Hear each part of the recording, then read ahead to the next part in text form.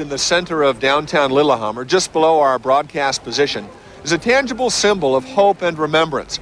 It's dedicated to the residents suffering in the former Yugoslavia, more specifically, the war ravaged city of Sarajevo, host of the 1984 Olympic Winter Games.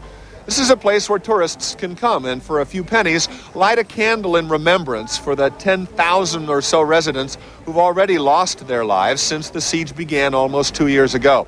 The Olympic movement here in Lillehammer has taken up the cause of those residents, many of whom still suffer every day. Ten years ago, we were in Sarajevo for the Olympic Games. A city then dedicated to sport, understanding, friendship, and peace. Sarajevo, whose people for over two years have suffered too much. Uh, Sarajevo was a place that I had my dreams answered.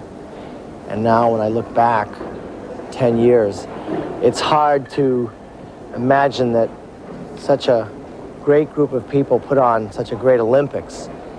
And now to see all of the murder and bloodshed, I just can't believe it's the same place. It was my first Olympic Games, and so it was very, very exciting. And I, I really remember the team feeling as being there and representing your country.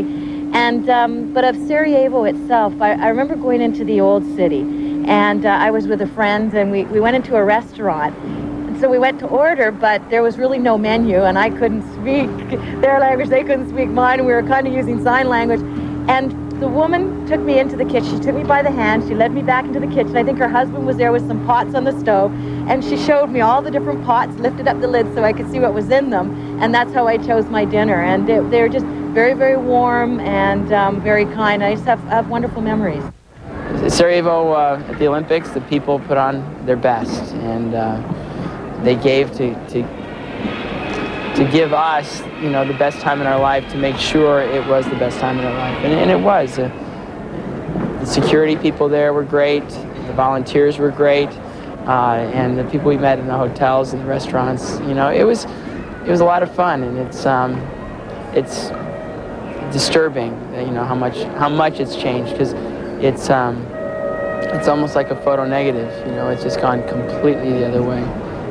It's, it's devastating. I think all of us that, have, that, that spent those great days in our lives there. Know, it breaks my heart now to see what's happening, and uh, it's you know it's hard to believe that that's happened, and when there was such great harmony at that particular time, it rips my heart out to see what's happened to the to our Olympic Village, to um, to the venue where I competed, where you know I stood on the podium next to Scott Hamilton, and and those images will stick in my head forever. So it you know, it rips my heart out to see something, to see what's happening now. And, you know, it's, I've heard rumors of it being a morgue. I've heard rumors and stories that they've used the wood now to make coffins. And, you know, it's, uh, it's hard to believe.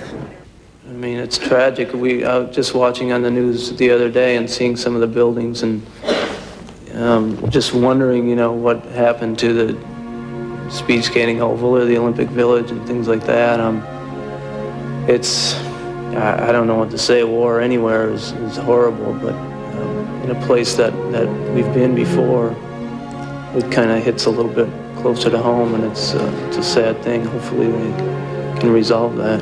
When I look back to that Olympics and being the first one, you know, I have a lot of good memories from there, and the people in that, that town went out of their way to do everything they could to make you as comfortable and happy and uh, you know that that I think is what hit me so much is um, they they I had the same feeling I think as far as being in the town um, here as I did there. You know they just did everything they could to go out of their way for everybody there, and it is it's just a very sad situation what has happened.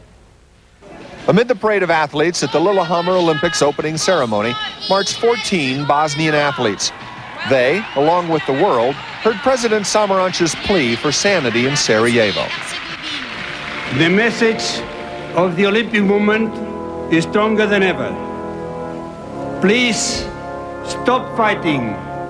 Please stop killing. Drop your guns, please.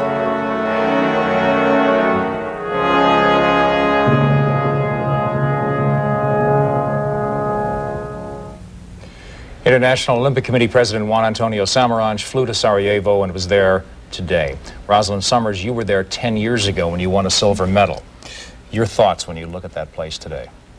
So devastating and so touching. I, um, more, some pictures get me more than others. And yesterday I saw a picture in a magazine of the arena we competed in, the exact hill I walked down holding my mother's hand, going out for those four minutes that, of my life that I looked forward to since I was seven. And that same hill, it showed the building and, and it was a graveyard.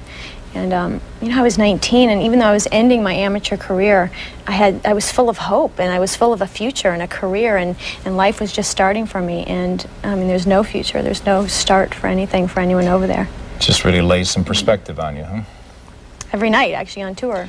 On tour, you, you have Ice. a you have a tribute to Sarajevo, don't you? do. Can you tell me about that? Uh, Scott, Brian, Kitty, and Peter, and myself. Scott Hamilton. Mhm. Every night um, on the Discover Card Stars on Ice tour, we do a tribute and we dedicate it to the people of Sarajevo and we each the color of an Olympic ring. We trace the Olympic rings, and it's it's very powerful music, and it's it's our moment to um, to really. I mean, every night we're reminded. 10 years ago of what it was and what it is now. And we're sharing that with the audience and we're sharing that somehow um, across the world to those people. Roz Sumners. Well, up next, the bronze, silver, and gold medal winning performances in